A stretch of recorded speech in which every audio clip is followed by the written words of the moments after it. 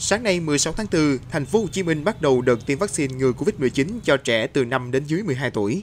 Dự kiến khoảng 30.000 học sinh lớp 6 sẽ được tiêm ngừa trong hôm nay tại hơn 100 điểm tiêm là trường học và các cơ sở tiêm chủng.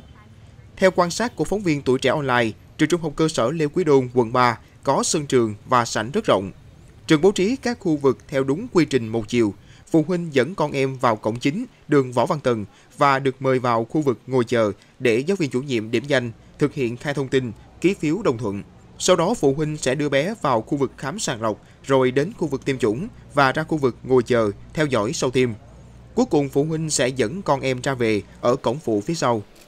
Theo Sở Giáo dục và Đào tạo thành phố Hồ Chí Minh, trong ngày 16 tháng 4, thành phố chỉ triển khai tiêm ngừa cho học sinh lớp 6, lứa tuổi lớn nhất trong đợt tiêm ngừa lần này. Sau đó, các đơn vị liên quan sẽ họp rút kinh nghiệm và dự kiến triển khai tiêm ngừa cho học sinh tiểu học từ ngày 18 tháng 4, theo nguyên tắc tiêm theo lứa tuổi giảm dần và tùy theo tiến độ cung ứng vaccine. Các em học sinh cần tiêm 2 mũi vaccine ngừa COVID-19. Đối với mũi 1 bắt đầu từ ngày 16 tháng 4 đến ngày 30 tháng 4. Đối với mũi 2 dự kiến tiêm cho trẻ trong vòng 14 ngày, khoảng cách giữa hai mũi tiêm theo hướng dẫn của nhà sản xuất. Loại vaccine sử dụng cho trẻ từ 5 đến dưới 12 tuổi là Pfizer và Moderna.